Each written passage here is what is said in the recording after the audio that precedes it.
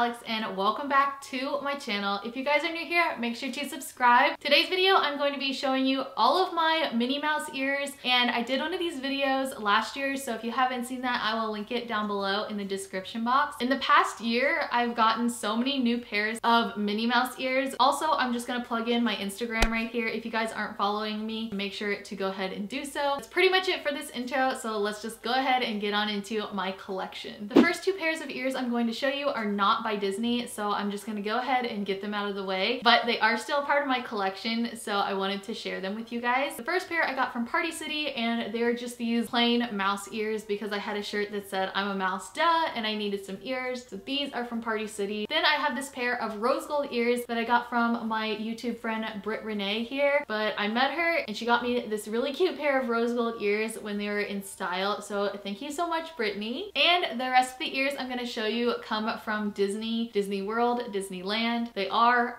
on brand. So I just wanted to kind of make that disclaimer before I get into my collection. The first pair I'm gonna share with you guys are these silver ones and I love these. They're really good to go with any outfit. They match anything and I've had these for quite a while. So they're just the plain silver mouse ears. Oh, before I forget to mention, Disney has changed their headband provider or something because they're finally making the ears not so tight. These used to give me such bad headaches, but the new ones actually don't. The next pair I'm gonna share with you guys are these classic Minnie ears and I actually had the original pair of Minnie ears that were like hard plastic but I have no idea where they are. Um, these are all sequin so you can see the sequin bow is pretty flimsy. It's just um, fabric and sequin and this is what the back looks like. The next pair I got from Disneyland and they're these cool little themed ears. I have no idea what they're supposed to represent but I really like them and I've had them for years. I love them so much. Um, they look like the ones ones that you can get from Etsy. These little guys are near and dear to my heart because I got them in California. I don't even know if they still sell these in the parks. The next pair of ears are the ever famous rose gold ears and I got these when they first came out, almost when they first came out. And thank you mama for hunting these down. If you guys didn't know, one of my moms works at Disney and sometimes she works at Epcot in the DVC member lounge. So she was on the hunt to get these and one of her coworkers told her where to find them. So she went and got a pair. These are probably still my favorite ears out of my collection. The next pair are the Millennial Pink ears. I really like these. I wish the bow wasn't puffy like this, but I'm really happy I got these because I love the shade of pink they are and they just resemble millennial and pink. They're just super cute. I love wearing them to the parks because they don't give me a headache. The next pair of ears are these Halloween themed ears. I love them so much because of the little candy corn bow and it says I'm just here for the candy on the side. They're very good themed ears and I can't wait to wear these next year when we go to the Halloween party. The Halloween party is probably one of my favorites. It's just super fun. The next pair of ears are these cute ice cream bar ears. And as you guys know, I love Mickey ice cream bars. They are the best. I don't know what it is about them,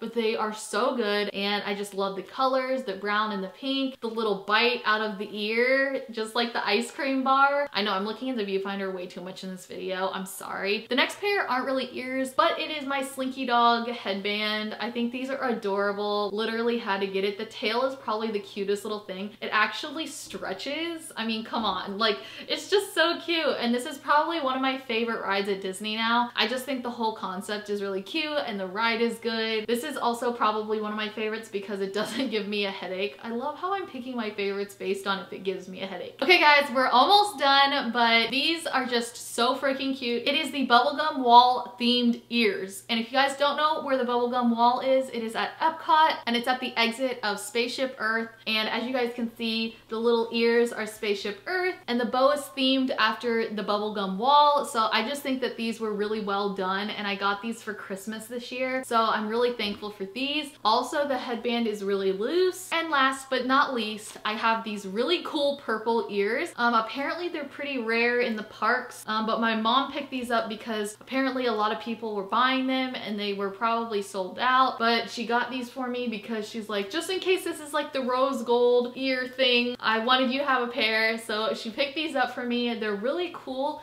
They have this like holographic bow. It's like kind of like an iridescent color and um, the purple sequins, very nicely themed, very clean, and I just really like these. That is going to be it for this video. I hope you guys liked my ears collection of 2019. Make sure to give this video a big thumbs up. Comment down below your favorite pair of ears, and I'll see you guys in my next video. Bye!